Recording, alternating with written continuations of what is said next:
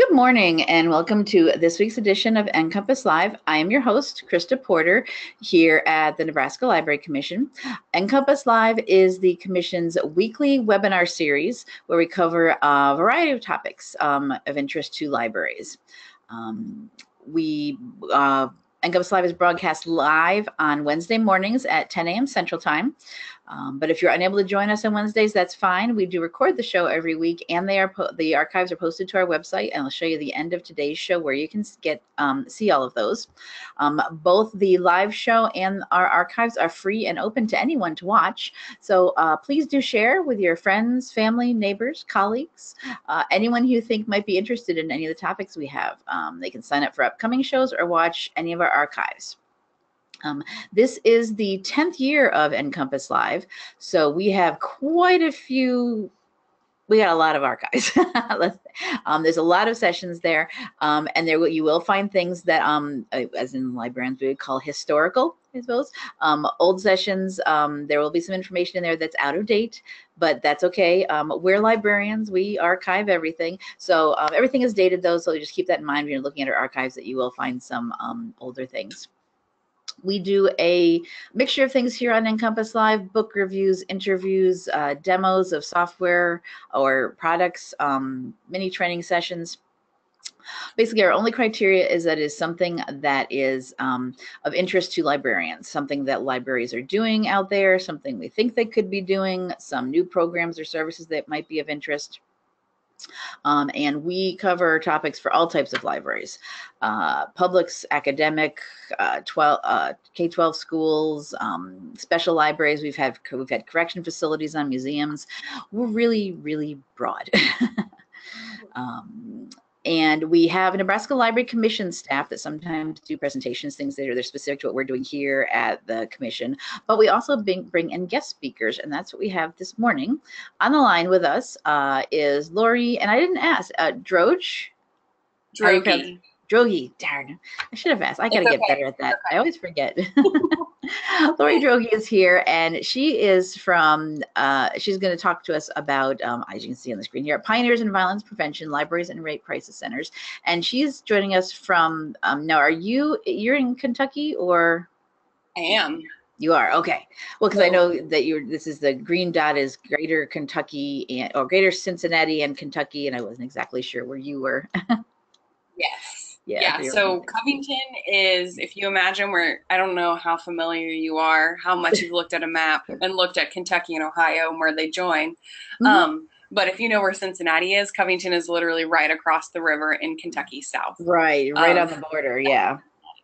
Yeah. Okay, so great. That's what. All right, so I'll just hand over to you, Lori, to tell us all about. Um, go ahead with your presentation.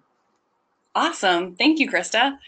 Uh, okay, so and thank you to everybody who is listening and watching today. I'm really excited about this opportunity. Um, so I have worked at rape crisis centers and domestic violence programs probably for about for almost 10 years now. Um, and I I love that this has given me an opportunity to partner with my local libraries in the way that it has, um, because I really think that these kinds of partnerships give us such a great capacity to make our communities healthier and stronger and happier. Um, so I'm really happy to be here. Uh, so I'll tell you a little bit about myself first, and I'll give you an overview of what we're going to talk about. Um, and throughout the course of this webinar, if you have any questions or concerns, throw them up in the, the chat box or the question box, and Krista can call my attention to them, and we'll definitely have some time at the end for a little bit more of a discussion uh, if you guys are interested in that. I know I'm super interested in discussion and hearing back from you. So we have lots of fun ways for me to hear back from you in this particular presentation. Um, so the first thing I'll do is I'll tell you a little bit about myself. Uh, and then I want to get a feel for who's in the room. And then the particular violence prevention strategy that I implement uh, with my agency, which is called, we do the our program is called Green Dot GCKY. So, as Krista mentioned, that stands for Greater Cincinnati in Kentucky. Um, and we are part of the Women's Crisis Center, which is the local rape crisis domestic violence shelter. So, the program we do is called Green Dot. And I'll tell you a little bit about Green Dot. We'll spend eh, probably 10, 15 minutes on that. And then I'll talk to you a little bit about specifically how I have brought Green Dot into my work with libraries in one particular community. Um, and hopefully that will give you guys some ideas for different ways that you might be able to partner uh, with your local rape crisis center or other agencies in your community. Um, so uh, those pictures on, that you see on the right hand side of the screen are me. If you guys didn't get to see the quick wave that I did at the very beginning of the webinar. Um, so that's me. So if you can imagine me talking, go for it. If you don't want to, that's okay too. Um, when I was growing up, I was that kid who loved to read. Uh, we went to the library regularly, and I had that favorite book that I checked out pretty much a bajillion times. Like when we had the little cards, you could pull up the card and see that it was basically only my name on that card. Um, and my mom took me to the story times uh, but as I got older, I started to see libraries, or I guess I remained seeing libraries as places that I could go to get any book that I want that I wanted. Um, now, I I have a different view of libraries. I still see them as a place where I can get really cool books, um, but I also see them, and probably primarily more so, uh, I see them as a place for communities where people can join together regardless of their backgrounds, how much money they have, or what they believe for fun programs, for educational programs, um, just to build a sense of community and relationships with each other. And to me, I find that to be extremely powerful. So when you look at violence, um, which is what Green Dot addresses. I don't know if I said that before. Um, Green Dot addresses specifically sexual assault, dating violence, and bullying and harassment. And when you look at those kinds of violence, there are certain factors that indicate that someone might be at a higher risk for experiencing violence. And we simply call those risk factors. On the flip side, there are also factors whose presence indicates that someone might be less likely to experience violence. And when I say experience violence, I mean they might be less or more likely to um, be the victim of that violence or to maybe be the creator, the perpetrator of that violence. So the things that make it less likely for us to experience violence are called protective factors. So very basic, pretty much makes sense. Um, one of these protective factors, and this is an evidence based protective factor, is a feeling of a sense of community and connectedness with the people around you. And I think that that is particularly one of the biggest protective factors that we want to build when we're doing our work with libraries. So, all of the programs that libraries are doing, and just by being institutions in the neighborhoods and in the communities that you're in, you're already building those protective factors. So today we're going to be talking about how I've worked with some of the libraries on a program I'm doing. Um, and like I said before, I'm really happy to get your thoughts. So the first thing that I want to do is I want to ask you guys a poll question um, about your experience with teens who have different experiences. So Krista, this is, I believe, the first poll question that they can right. pull up if yep. you want to pull um,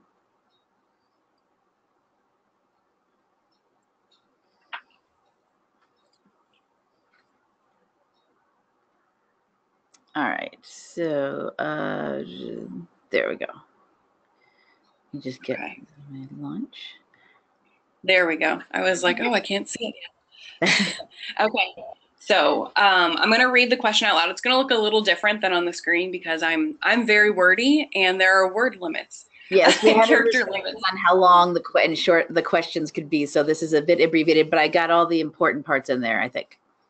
Exactly. So I'll read it out. Uh, so just want to hear from you real quickly. Have you or your staff ever worked with a teen patron, or if you're not necessarily in the library field, um, a teen client, a teen just in general, um, who has been affected by poverty, homelessness, depression, suicide, substance abuse, dating violence, sexual assault, or bullying? It's a lot of things, uh, which is why we have these answers. So you can Mhm. pick yes, all of these yes, some of these, yes, one of these, or no, none of these at all.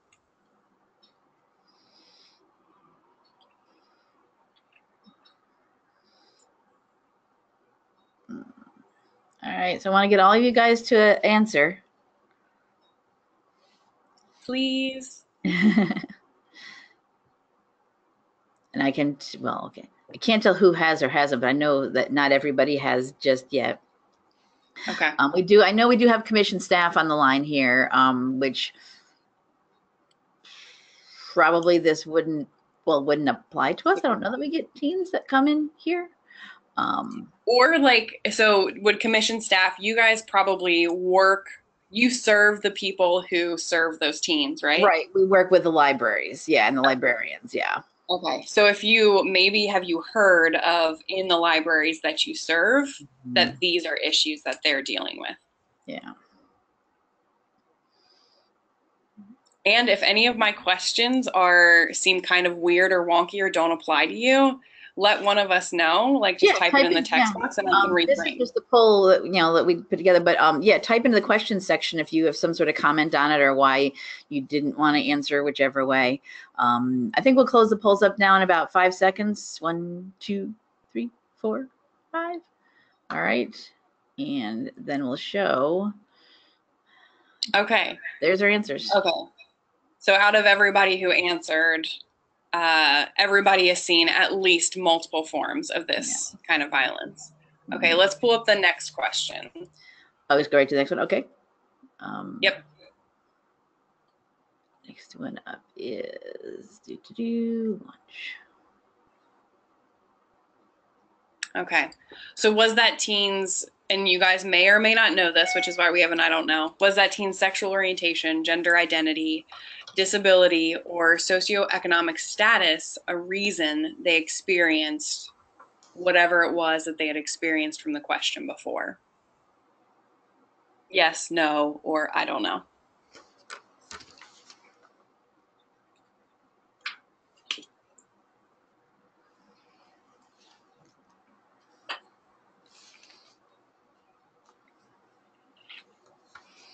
So all of you that answered the first one, make sure you answer this one. I should get the same amount.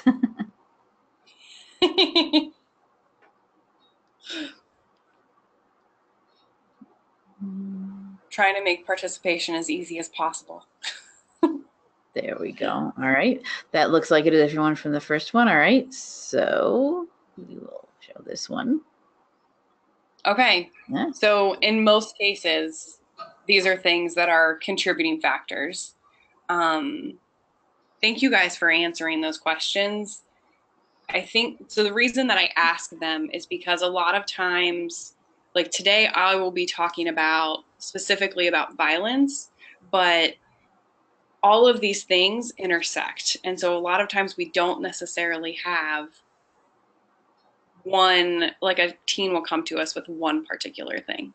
Mm. Um, and so I think that that's important for us to illustrate and establish as we move into this. So I'm going to be talking about teen dating violence and sexual assault prevention specifically, but you might also have different ideas around maybe substance abuse is particularly crazy in your area, or maybe Mhm. you've seen lots of teens with thoughts of suicide or depression. Um, so know that that is something that I'm aware of, and that's something that we can talk about in our discussion towards the end. Okay, I'm going to pull back my PowerPoint. Yep, there you go. Okay, um, which that leads us into I was looking through, uh, somebody had sent me an article from, it was called Public Libraries and At Risk Teens. I don't remember where it was published, but I pulled this quote from it because I thought it was really powerful. Um, it says, All teens are at risk. They're at risk of falling prey to ignorance, hatred, violence, and all the other negative influences that surround them, of failing to take advantage of the opportunities and resources available to them everything we do here in the Teen Lounge serves at risk teens. And I thought this was really powerful because a lot of times um, we use the phrase at risk teens. And what we mean is teens who are more vulnerable than others uh, to kinds of violence. So, that last poll question that I had, where we talked about a teen's sexual orientation or their gender identity or their socioeconomic status, um, people who identify as something other than what we deem as the norm. So, people who don't identify as heterosexual or don't identify as cisgender um, or have less access to financial resources, usually they have higher rates of violence. I don't know why that is, um, but they're just higher risk. And what I like about this quote is that it says, well, all teens are at risk. We need to be engaging all teens. And that's one of the things that I love about libraries is because I feel like they are equalizers in our communities. So regardless of what people are bringing to the table, what their identities are, what their experiences are. Um, they're welcome at the library. They're able to engage in programming and find people who are similar to them. In general, I know that this maybe isn't a blanket rule for everybody, um, but that has been my experience. So I like to to highlight this quote. Um, and it leads really well into the idea of why I think libraries are really great spaces. Um, so, uh, because they're just such great spaces for relationship building. Um, and today, in case you haven't picked up on it, we're going to focus on teens. Uh, but teen librarians do this relationship building really, really well. I don't think I've ever met one who who I haven't seen a teen come in and get excited to talk to them. Um, and relationships are essential to learning. So I may not be a teacher in a classroom. I am in a classroom, but I'm not there every day. You as librarians or the the library the librarians that you serve if you're um, commission members um, we're all teachers we're trying to interact with people and teens in such ways that that they're learning how to interact and have healthy relationships with people um, so we've got those other skills to teach, like having conversations and working in groups and socializing and how to take care of each other in general. And we all have a role to play in building strong communities to support and develop teens, as well as making it clear to teens where they can go if something does go wrong. Um, so, the strategy that rape crisis centers across Kentucky, which is my state, have used for the last near 10 years to help build relationships with and equip teens to become active bystanders is called Green Dot. Um, so I'll talk about this for the rest of the webinar or for the most of it and how I've brought this particular strategy uh, to libraries. Some things to keep in mind just in general before I jump into some Green Dot basics is that community partnership they're they're crucial to forming a cohesive response to the complex issues that teens face today. As we saw in those poll questions, we're dealing with teens who are dealing with compounded issues. Lots of stuff is happening. And I really like the idea of having diverse partnerships uh, because these issues, they don't just happen in a vacuum and they don't just have one cause. So what that means is that we need a lot of people to be able to address these different things and working on it together makes so much more sense.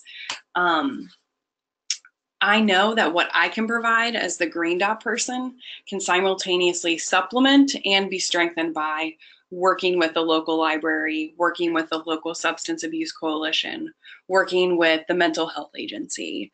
Um, we all bring these really beautiful things to the table. And I love the idea of working in collaboration. Although, yes, that is much easier said than done.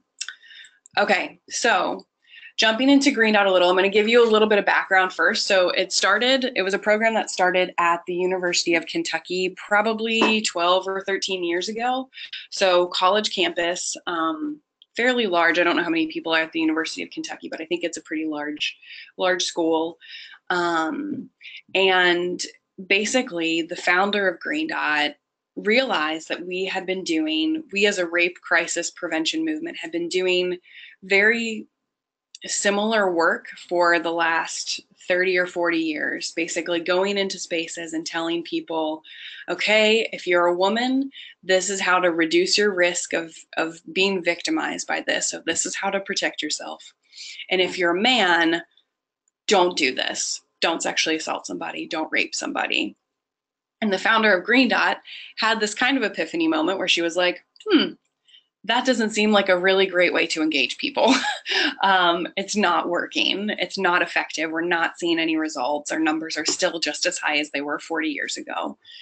So she decided to create a program that came from the bystander perspective. So instead of engaging people as potential perpetrators or potential victims, we are engaging them as allies and as active bystanders. Like you have a way, there's a way that you can stop people from getting hurt around you. And how do we train people and equip them to do that? Uh, so this was uh, studied at the University of Kentucky. They went into, I think, a randomized controlled trial. Uh, the CDC did at the college level, and this strategy was found to be effective in reducing violence. So the state of Kentucky went to them and said, hey, we want to adapt this for our high schools, which is where the program that I work for comes in. We were part of that initial pilot study, is what they called it. The CDC came in and funded a five year pilot study where 13 schools got Green Dot and 13 high schools were basically the controls. What they found is that Green Dot, the Green Dot strategy reduces violence by about 20%, the perpetration of sexual violence in particular, by about 20% in the schools that had it. So this is huge. It's one of two evidence-based programs for high school students uh, recognized by the CDC in the country. So pretty big deal. So that's just some background into the, the formation of the program. If you're curious, if you want to talk about that more, feel free to leave questions or call me or email me after the webinar, and I'm happy to talk more about it. What I really want to talk about, though, is the strategy behind it. So what are the concepts so that you can understand what we're doing with the library specifically. So um, what we start out with is this image of a map. And if you've ever seen a like zombie outbreak movie or a virus outbreak movie, you'll probably have an image in your head of something similar. So usually there's a cluster of red dots in one city or in one town. And what that means is that city has an outbreak of whatever the virus is. And then somebody will say something like, oh, if we don't find a cure in two weeks or in a month, then this is what it's going to look like. And you have a map similar to what you see on your screen that's just covered in red dots. And that basically means that everybody's a zombie and we're all eating each other's brains and it's it's not a good thing. Um, so we at Green Dot, we take this image and we apply it to violence. So instead of imagining maybe a world map, maybe you imagine a map of your community. Um, or even a map of Nebraska and imagine that it is covered in red dots. But instead of those red dots being zombie cooties or a virus, those red dots represent any individual action that somebody has taken to hurt somebody else. So, um, we don't know how many red dots it, are covering the Nebraska map or covering the Kentucky map. Um, it's not it's not like matched one for one. We haven't been able to quite track that. Um, but what we do know is that a lot of people are getting hurt. So I looked at, in preparation for today, I looked at the youth risk behavior survey uh, for Nebraska specifically so that I could give you guys some numbers so that you have a little bit of a grasp of how many of your teens this is particularly affecting. So what that told me, and these numbers come from the 2015 survey, is that about 8% of teens in your state had been physically abused by a dating partner uh, about slightly more, it's like 8.3% of teens were forced to have sex against their will. This is within the last year, um, high school students. 26% uh, have been bullied on school property, and almost 20% were bullied electronically. So, if that gives you any indication of how red dot covered your map is, um, that's kind of that's kind of I don't know that's kind of the point. Um, that's a lot of people getting hurt. That's a lot of teens getting hurt. Uh, one in ten for sexual assault or for dating violence is just mind blowing to me. Um, and that's why I do the work that I do. So, other examples of red dots that you might see um, or that you might have heard about. So, that is every instance of someone posting something like nasty on Instagram or Twitter about a classmate. That's a red dot. Every instance of someone forcing someone else to have sex is a red dot each private nude photo shared without somebody's consent is a red dot. And every time someone calls their partner worthless or tries to control what they're doing or who they're seeing, those are each red dots. So I don't know what the norms look like in your communities, um, but these are some of the ones that plague us here in Kentucky. If you have other examples of red dots that I've missed because there are a bunch, or things that you've seen particularly in your regions and in your neighborhoods, go ahead and throw them in the in the chat box, um, and Krista can share those in a second if if you guys have any ideas for what you've seen.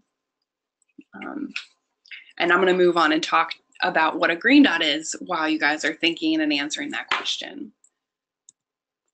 Okay, so the solution to these red dots covering our map have to it has to parallel the problem. So for us, that is a green dot. A green dot is any action that somebody takes simply to make it clear that they won't tolerate violence. So I talked about somebody sharing a nude photo unwarranted um, or un, without consent. Um, so a green dot to that situation would be checking on the person who maybe that picture is of and making sure that they know about it and they know how to how to take care of themselves and maybe how to address it directly. Um, I also said that one might be when somebody's in an abusive relationship, um, when their partner is calling them worthless. So maybe a really good green dot for that would be excuse me. Um, maybe a really gr- good green dot for that would be if your friend is the one who is maybe saying those really awful things, saying like, "Hey, why are you treating them like that?" or "That's not cool." Um, if I don't know if people say cool anymore, I say cool a lot, but teens don't really. Uh, that's just my language. Um, maybe do, it's yeah. it's what I do. Yeah, maybe too much. Yeah. what do they say then? yeah i mean i know like i'm trying to like i don't even know like i know they mm. say it's lit a lot um but ah. that's for something that's good um, so we know how to communicate yes exactly yeah um sometimes a green dot could be getting a mutual friend to do something because you don't actually like the person getting hurt or maybe it's just creating a distraction so that that sexual assault doesn't play out or so whatever that scene is isn't playing out um so notice that I gave different kinds of examples there. Uh, we call those different examples the three Ds direct, delegate, and distract because we know that we as adults all have barriers. Like, I can't count the number of times I've been in a store, in a public space, in my neighborhood, and I've had that gut feeling like, I know I should do something, this is wrong, but I have barriers. Like, but I'm shy, but I'm running late, but I don't know the person. But what if I just don't really know what the situation is? What if this what if they're actually joking and this isn't actually a serious situation?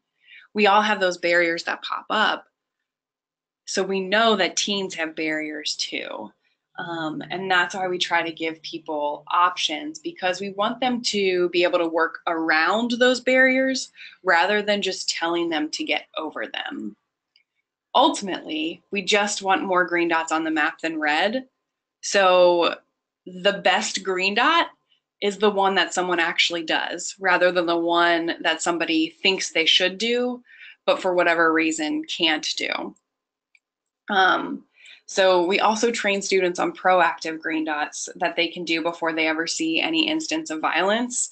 Uh, because a lot of teens say, well, I don't actually see somebody getting sexually assaulted, or I don't even see the red flag warning signs for that, or I haven't seen anyone get bullied personally. Um, so we want to make sure that everybody has the ability to to be a part of this movement even if that is just making it clear by posting on social media or by starting a conversation with people around them that they care about this issue. Because what we're after with green dot is culture change. And the more individuals who add green dots to the map the more we shift culture away from violence. So we're going to do some more poll questions now and these are actually going to be questions of I'm going to give you guys a scenario and you're going to get to figure out what is the green dot that you would do in that situation. So some of them are going to be from the perspective of you as a library services professional, if you happen to be in a library. Um, some of them are going to be from the perspective of, of a teen, just to help build a little bit of empathy with what teens might be going through. Mm-hmm. Okay, Krista, do you want okay. to pull up the, the next one? Sure. Okay, so the first one, you overhear some teens talking about a super embarrassing photo that was posted on social media of another teen. Would you direct, check in with the subject of the photo? You have another option for direct, ask who posted it and ask that person to take it down. Would you delegate, so you encourage or ask them to report it to the site? Or would you distract? You challenge them to bury the post with positive posts or memes or whatever. What would you do? There aren't any right or wrong answers, just a lot of options. Hmm.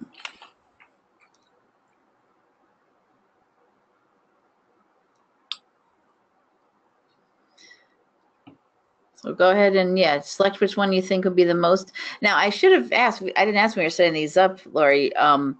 Would this be something that more than one answer could be, or are we just looking for you know your first instinct? Uh, well, yes to both of them. so this is definitely something where when we get into the discussion part of it, especially when we do this exercise with students, a lot of students will say, I would do this and this. So more than one answer is acceptable, but I think the technology is probably just one answer. So what's your well, like yeah, first? I didn't even think about that at the time when I when I was setting these up this morning. We I yeah, this this one is set to just be um yeah. One choice and that's okay when we do it in se- when we do it in actual trainings we usually only have one choice but then we oh, okay. have discussion afterward to fill it up so that's okay i didn't i also did not make that clear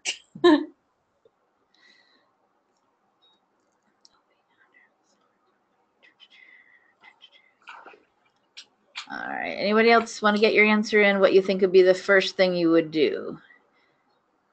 I can tell not everybody has clicked yet, so please do make a choice before we wrap this one up. We got a few other ones coming too, so be prepared. Yeah.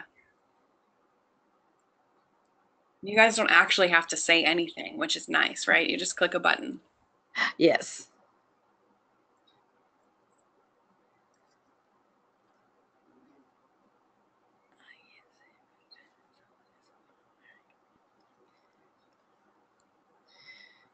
All right, I think we'll close this one up and so we can get our answers. Okay. Okay. So a lot of you guys are direct. Awesome. Not that if you're a delegate or distract, that's not awesome. Um, but yeah, a lot of you guys are really direct, which is not necessarily surprising being in the position that you're in here. Okay, mm-hmm. let's pull up the next one. Okay, um, I do have a comment that someone has about this one oh. of, of yeah, another. Great. Is that okay to do that now? Yeah. Yeah. Um, yeah. Yeah, someone said I'd check in with the subject, talk to the poster, the person who did it, and since I'm in a public library and cannot act as a parent, I usually um, contact a school counselor about these types of things as well because they have more reach than I do. Nice. So reaching, awesome. Even, this is all about doing things just within the library, except for that reporting it to the site, but reach out to the yeah. school. Yes, you definitely can. That is a great response. Great idea. All right. Okay. Do the next one. Do the next one. Okay. So the next question is going to be um, pretty much the same scenario, but it's it's asking you to think about if you were in the teen's position. So it's your friends showing you a super embarrassing photo of a classmate that was posted on social media. What would you do if you were a teen? So you don't necessarily have authority the way that you do in a library um, or as an adult, even with the age difference. Would you check in with the subject to see if they're okay? Would you ask who posted it and ask that person to take it down? Would you report it to the site or would you begin burying it with unrelated funny, funny memes? And if you have thoughts on like how your answer has changed, we'll see in a second, um, because your barriers maybe would have changed as a teen. Or maybe not.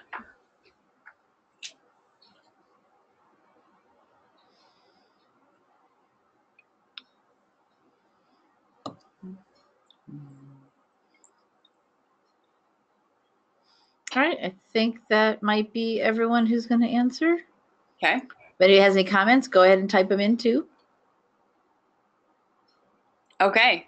So this one, this this kind of makes sense, right? Um, I suspect that we have more delegates in this particular one because it probably feels a little bit more confrontational to ask that person to take it down when they're your Yeah. peer.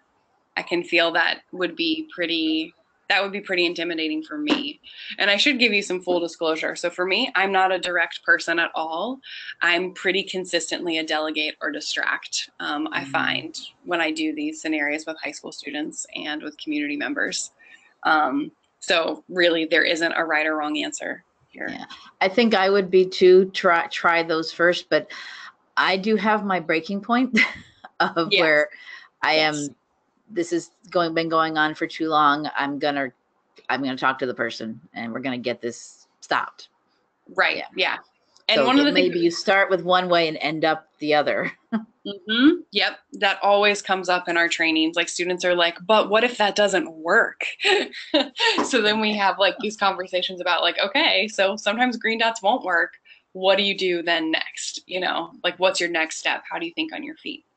Okay, we got two more questions, guys.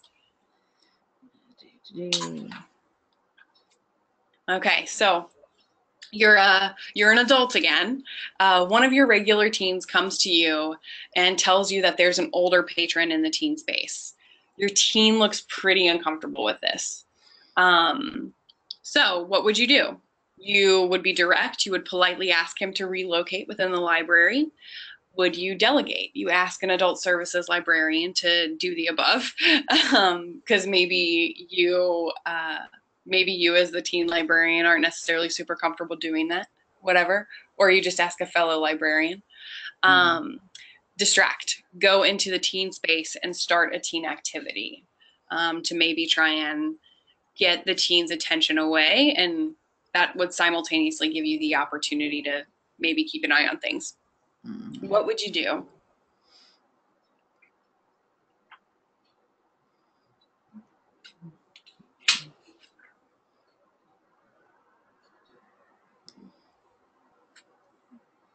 I think the, the second one of delegating, I, I was thinking as you're, are talking about this, that mm-hmm.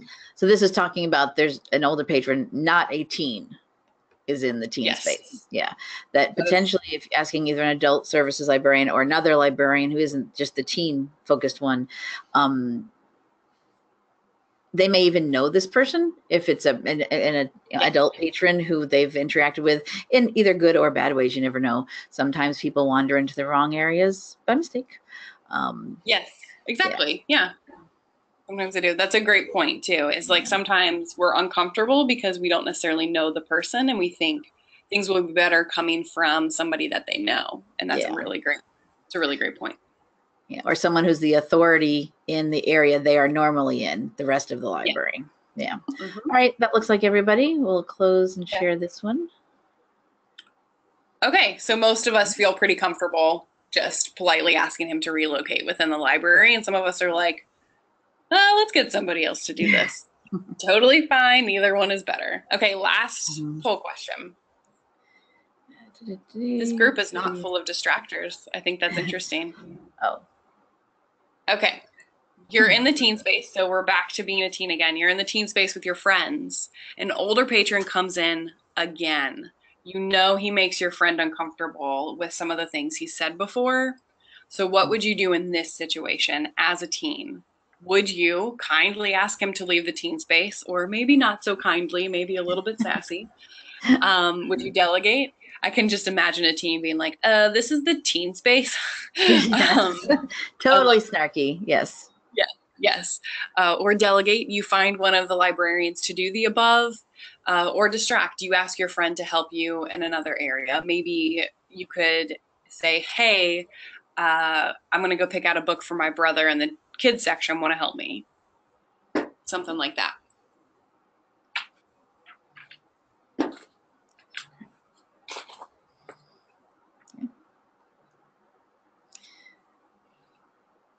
All right, that was pretty quick. Uh, looks like everyone's done this one, and um, wow, pretty, pretty quick and consistent. Yes, very consistent. Nice. Okay, so um, which is awesome. The reason that I like to do this particular exercise with people is a to build empathy with teens, but also to help us familiarize ourselves with um, with what our barriers are, like what our own barriers, what our own options are. Like we can all do green dots. It's not just something for high school students. Mm-hmm. So um, that will. We, we had a comment from someone about oh, both these yes. last two um, that they said in their library we had a rather consistent and large problem with this kind of thing in my library. So it eventually became straight up asking them to vacate the area. We had to ban some people because they would wait outside for teens and then try to follow them. We have had bad oh. things happen to some of our teens, so it's just zero tolerance. Yeah, that is a that is a super creepy situation. Mm-hmm. Um, and I actually, so I pulled these scenarios from our Kentucky teen librarians. Um, so these are things that happen here, and I wasn't sure if they were what if they happened, if you guys experienced them as well. But so that's thank you for sharing that. I'm glad that you guys took action to protect those teens. Not that that not that I wouldn't not that I would assume that you wouldn't do that, mm-hmm. but it sounds like you guys handled that situation really well whoever made that comment. That's sometimes where you have to get to, like it gets to that point, yeah. Or yeah, if you know yeah. that there's a specific incident and you have to start off with the zero tolerance, you're out. I mean, in each library, it's mm-hmm. going to be, spe- you know, specific to your situation. Yes. Potentially. Yes, yeah. very much so. Okay, thank you. Okay, so I'm going to fly through some of these. We just did these. I just had slide holders for them. um, so that that leads me to the work that I've done with local libraries. So I'm going to give you a couple of examples um, that are that are tangible. Um, and the reason that I I started, the reason that I reached out to the libraries in the first place is because we work primarily with high school students. Um, we implement these trainings. So what you just got was a very, very, very brief overview of what we do in high schools and in communities in our area. Um, and so, what we realized is with high school students, they're not in high school all the time. Of course, they're there for eight hours a day. And so, we want to reach them there.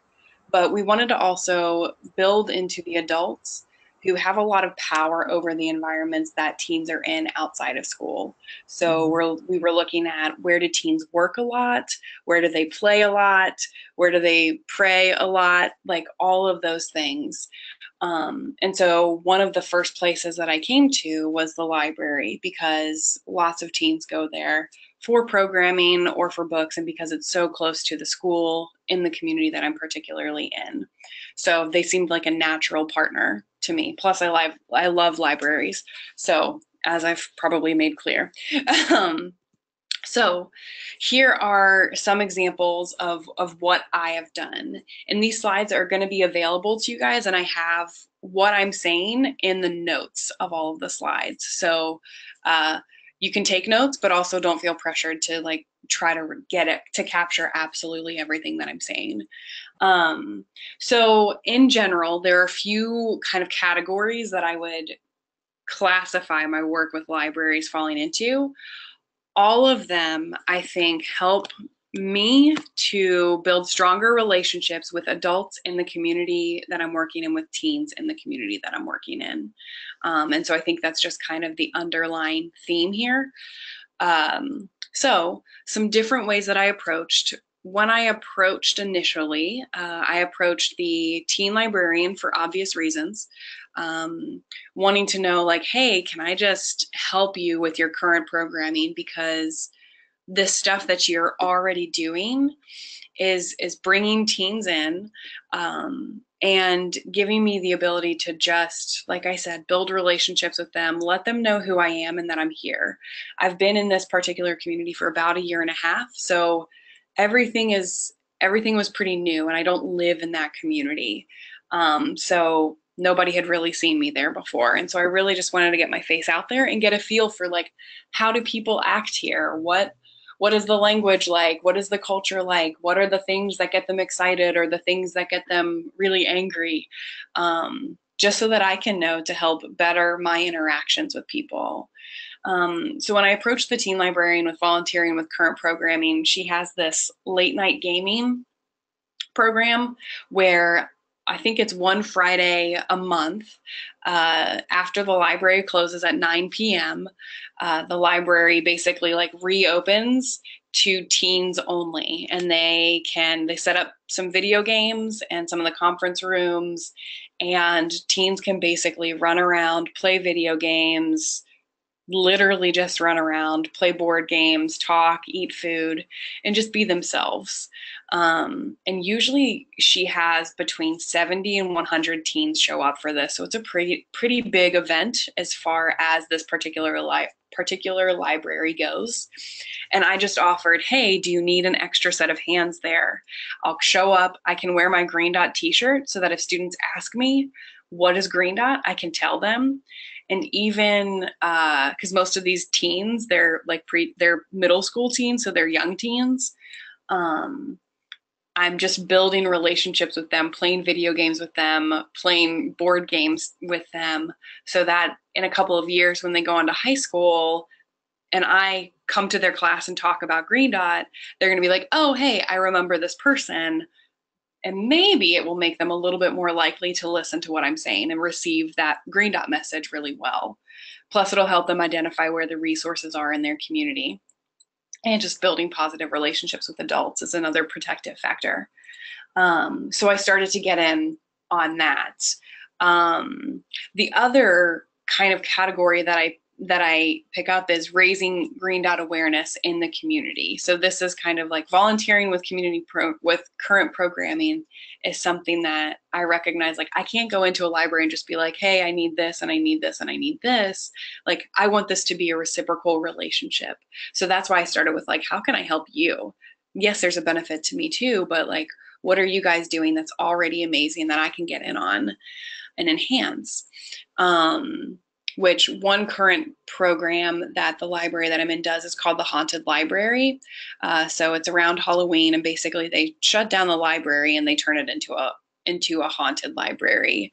And this draws, I think, the adult services librarian told me it draws like a thousand people from all over the county. It's it's by far and away their biggest event. Yeah, That's I mean it's cool. it, it is yeah. huge, and so it's families and kids. And so what the line does is it snakes around the entire the entire library like through bookshelves and all this stuff. And so i was like well do you guys need somebody to do line activities? So my students and i created a name that tune game and what they did was i took a group of high school students on the different times when it was open and the high school students were able to approach all of the different patrons, tell them who they were, what Green Dot was, and then play a game with them. Um, and so it raised awareness about Green Dot in the community, but it also gave my high school students an opportunity to get comfortable talking about what Green Dot is and why they care about it, which is huge because they don't get that practice every day. Um, and so that was a really huge program for me with the adult services librarian, um, I actually got to focus a little bit more on, like, I've joined a book club so that I can just engage with adults in the community for that recognition piece like hey i'm a part of this community too even if i don't live here. Um, and then there was also um, she's given me the opportunity to be a guest speaker at already existing events. So, one of the big ones is they have a series of ceramic painting, um, not classes, but programs before Christmas. And she said this is our biggest this is our biggest adult program of the year because everybody comes because you paint a piece of ceramic and then you can give it away as a Christmas gift. And so she had four or five of those and she was like, I'll give you five or 10 minutes or really as long as you want to talk to people while they're painting. And so I was able to talk to people about Green Dot um, while they were painting. And then after I was done talking, I just painted and talked to the community and was just me another patron who was attending this program, um, which was really cool.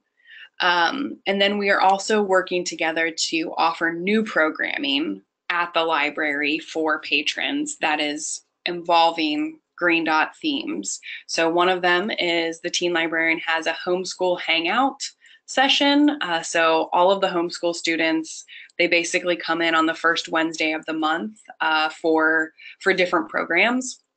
And so I was a featured speaker at one of them. And this was really cool to me because since we work so much in the high school system, we miss anyone who is in who is a homeschool student. And so this was my way of saying like, hey, just because you're not in a high school doesn't mean that you're not seeing or experiencing these kinds of violence and doesn't mean that you're not that you don't need to be equipped to be able to intervene in these situations so we had some really really great conversations particularly around bullying and how much they see it um, in their church in their church groups as well as in their work lives um, and so we had really great conversations around that and then we're also um, going to hopefully be engaging parents. I have some sessions scheduled for May and June. Um, and you guys are probably realizing, you guys probably know this already, that calling a program violence prevention and hoping that adults will show up is not really an effective strategy um, because people don't really want to show up to something about violence. Um, but what we thought of the librarian, the adult librarian, and me um, is we are going to be doing a college prep for parents. So, how to prepare your teen. But our frame is less of an academic preparation and more of what are some of the experiences that your teen might face when they're in college and how do we prepare them and how do you as parents support them when they go to a party and they see something happen mm-hmm. um, or just by being on campus. So I'm really excited about that offering. And so is our adult services librarian. Uh, so we're going to be doing two of those.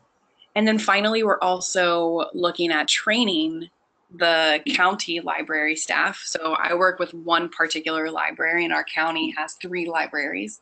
So we're looking at equipping staff county-wide um, on on basic green dot concepts. So how do you respond when these things are happening in your library? Because they, I mean, anywhere people are, these things happen. And so just helping library staff to feel more equipped and ready to handle situations that they might need to de-escalate or they might need to report. So when we when I gave you those examples before, um, that's exactly what we're talking about. When that when you have adult patrons who are who are kind of being creepy with the teens when you have teens or adults who are treating each other in ways that aren't really good how do we respond so those are some of the examples that i have. I know we are man i talked a lot. I'm so sorry.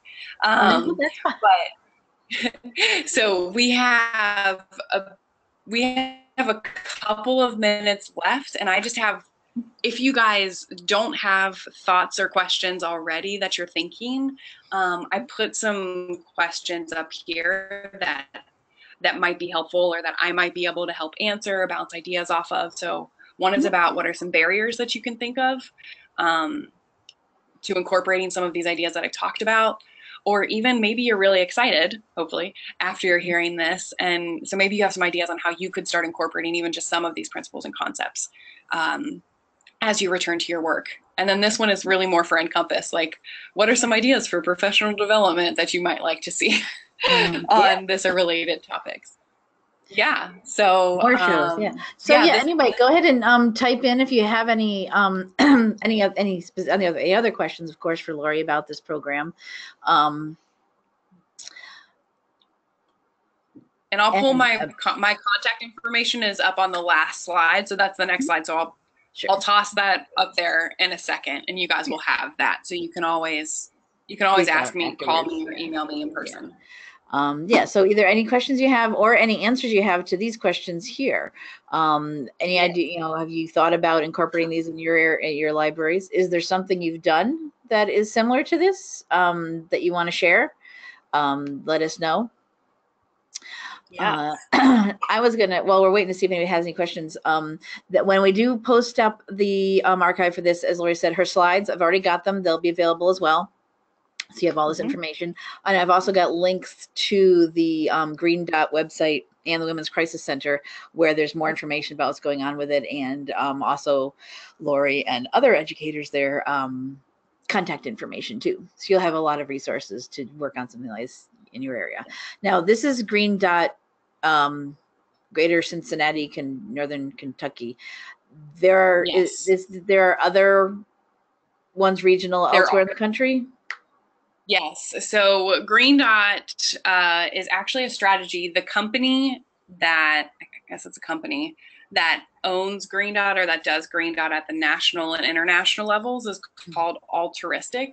It's A L T E R I S T I C. Um, which I can send that to you, Krista. So they're the ones who do it at the national level. Um, and then we green.gcky is our just local chapter. So there are places college campuses rape crisis centers um, health departments across the the country who are doing this. Um, and so you might if you just google green dot you'll get either a credit card which is not what we want um, wrong, or wrong you Green. get- right or you might get um, other chapters of green dot i guess you would call them Right. And I don't actually know who in Nebraska is doing Green Dot, but that's something that I could that I could look up and try to find out. My guess would be that some colleges are at least. Nah, I keep coming up with uh, credit cards. Um, Yeah, that was that's an unfortunate coincidence. Okay. This. It's the one we always when we go into presentations and we're like, yeah, we're from Green Dot, and they're like, oh yeah, like Steve Harvey. We're like, no, that's not Okay. that's not us. you add in if you want to find out more. So Alteristic, you can find yes. Um, yep. uh, just adding in the word in a Google search with violence will get rid of the ones that have to do with credit cards. so I did Nice. green dot violence Nebraska, and it came up with actually the al- alteristic.org website. Um, Oh, cool. um, oh, hey, uh, we uh, looks like we have um, yeah. The hi, Rhonda. Uh, Ron, I'll I'll just name you since you said Rhonda Jackson's from the uh, Florida Department of Health, and she says Florida Green Dot is on the line. So there's a Florida group. So one of your colleagues. Hi. Hey, Rhonda. I just talked to Rhonda last week and she said she Oh. was going to be. and I got real excited. She's pretty awesome. Yeah. They're doing some amazing work throughout Florida. Uh, it looks like uh, Creighton University and the University of Nebraska at Omaha have gotten involved in um, Ooh. Green Dot. Um, here's a green. Oh, that's Alaska. That's the wrong state. Never mind. Um, so UNO has a UNO Green Dot, and Creighton are the first ones that I'm coming up with. Yeah. So we do have a couple Cool. um, based out of our colleges. Actually, is what this is then. Nice. Yeah. Yes. And so those might be good partners if you happen to be in one of the libraries surrounding or near one of those areas. hmm These are both in Omaha. Yeah. But that's just a quick search, Okay. search I did um, just off the top of my head here. Cool. And also i should say like it doesn't um you don't necessarily need to partner with anyone to start or you don't necessarily need to partner with a green dot specific agency you could always reach out to who is your local domestic violence or rape crisis center and what are what are the prevention or education pieces that they're doing or what are those what could those partnerships with them look like? Um because it's going to be different in every single community. Mm-hmm. so. Well, this is interesting and i wasn't sure if this was accurate uh uh, the University of Nebraska Lincoln, because we have multiple University of Nebraska campuses in um, mm-hmm. the state. There's the Omaha one is the first one I found, but this is in Lincoln. Uh, someone has uh, done their dissertation on the Green Dot program. Hmm. And it's posted. Yeah, the process of engagement with the Green Dot bystander, bystander intervention program among higher education staff and faculty. And this is a dissertation that someone has done that's up through the women's study, women's studies um, counseling psychology uh, subject area. Oh, I might have to look that up. I'll send you the link. Yeah. yeah um, we have a comment here or uh, question. Uh, you talked about a parent session to prep them for helping their child ready for college. Um, yes. Do you plan any collaboration with colleges and universities to provide the programming? The transition is often tough for kids. Yes, um, that is a great question. Thank you for asking it. So um, I don't have any active partnerships with colleges right now, but I think that that is a great resource for me to explore, as well as one of the things that I'm going to do in preparation for this. So I haven't actually developed all the content yet, but one of the things that I'm going to do in preparation is we're going to do parent surveys. So because we're connected with Women's Crisis Center and because the library is doing this, we might have a lot of parents out there um, that will help us gather information. Parents of kids who are going to college, kids who have been in college or who are currently in college. And so I'm hoping to glean some information in that way. And then the third piece is also my current director. Um, the she is the prevention director for Women's Crisis Center, so she's over our team. She actually was one of the original founding members of Green Dot at the University of Kentucky, and so she she probably worked on UK's campus for between five and 10 years, um, working directly with people, with college students um, at their, it's called the VIP center, but that's basically where somebody, so if somebody is sexually assaulted on campus, if somebody um, is in an abusive relationship, they would go to the VIP center to seek services. Um, so she worked there as well as doing Green Dot. So she has a lot of insight into this transition into college as well. Mm. But that's a that's a that's a great suggestion. I might reach out. I have some contacts up here with colleges. We just haven't we mm-hmm. haven't made that um, partnership official or that reach out yet. But yeah, but obviously I, I, it is. I mean, you haven't done that. You've been working with a public library, so obviously it's been done. It's as I just did that. You know, a couple of universities here in Nebraska yeah. Mm-hmm. Oh, yes, for sure. And so we do know, uh, so we have, being close to Cincinnati, we have quite a few universities that are close to us. And I do know which ones have Green Dot. So Northern Kentucky University is a Green Dot school. Mm-hmm. Um, so I do know those, and I know, but they're like kind of, it's like they're doing their own thing. We have, we should partner more than what we do, mm-hmm. for sure which just goes to show you uh, partnerships are difficult and we all have limited amounts of time yes. Oh and actually this this person uh, susie one of our librarians she's the one who's asking that last question is here in nebraska. She actually yeah i will i'll send the link for the dissertation out to everybody when we do their archive. I'll post it up there as well so you'll all have access to it. Yes that's a good idea. I should have not just said i'm only going to send it to you. Lori. Um, yeah and um and maybe i'll maybe the links to the two that we do know of because i did find there is actual green dot websites for both at both creighton and uno about their programs. So yeah um, Kristen, there's a, on top of it. Yeah so um it looks like there was an article from 2014 when they were both getting started and they were talking about um yeah, there it is. Um, Nebraska colleges raising awareness on campus sexual assaults, and other other universities in the state doing other things, um, but participating oh, in other programs from their own things.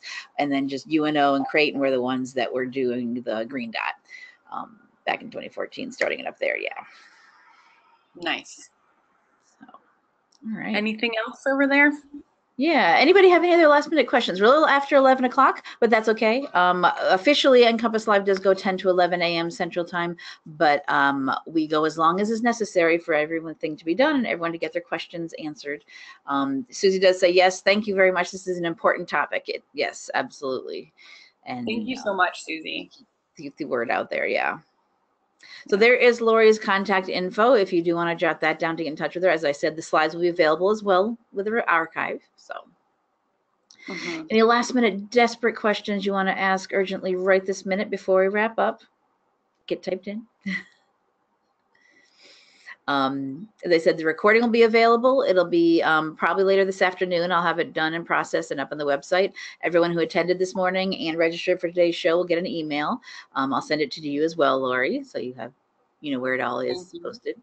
Um, we'll have the slides and we'll have links to that dissertation um, and some other things that I found that Nebraska specific um, and that Alteristic site too, because that came up too in my results, which was cool the Perfect. originating organization of the Green Dot um, program. See what else they are involved in as well. Well, it doesn't look like anybody is typing in anything, has typing anything now, unless you're typing some really long novel. I think we will um, officially wrap it up for this morning. Thank you, everyone, for attending. Thank you very much for being with us this morning, Lori. I'm glad that we got um, to get this information out. As as people said, this is important. It's a problem. It's an with all the things that Me Too movement and things that are going on, this is definitely something I think, I hope will become uh, more common, more prevalent in uh, schools and libraries, um, universities. Yeah. Pushing this as a thing, promoting this. I don't know promoting is the right word. Promoting the program. Yeah. I like promoting. Yeah. Pushing sounds like pushing. yeah, so, yeah. yeah. I hope so too. We're hopeful. Yeah. All right. So I'm going to pull back presenter control to my screen here to wrap up. Um, whoops. Wait, did I do that right? Uh, there we go. All right. So that will wrap it up for today's show um, okay. on Green Dot. We will be posting it to our NCompass Live website, which I'm going to pop to here. Um, this is our NCompass Live site where we have our upcoming shows, but right underneath them is where our archives go. So here at the top of the list will be the one from today. Um, this is last week's where we had the recording and they had resources that we posted. Same kind of thing. We have a link to, to our YouTube recording of this and a link to the slides and then a couple of websites I'll list here as well. Um, as I said, our archives, this is the 10th year of NCompass Lives. These archives do go back all the way to the very beginning. And I'll, don't get, close your eyes if this makes you seasick. I scroll all the way to the bottom. January 29, 2009 is when we first started.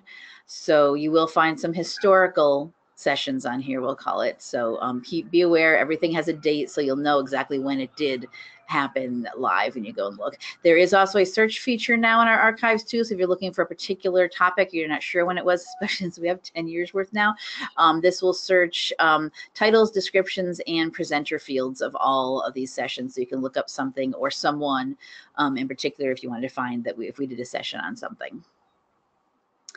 Um, so that will be ready, I, I, will say this afternoon, as long as YouTube cooperates with um, the processing of the presentation. um, so that'll wrap it up for today. That'll be for today's show. I hope you join us next week when our topic is tops and flops of library programs. Um, makes me think of Easter bunnies, Topsy and Flopsy. Anyway, um, I did that was not on purpose. It's just when it fell into the schedule.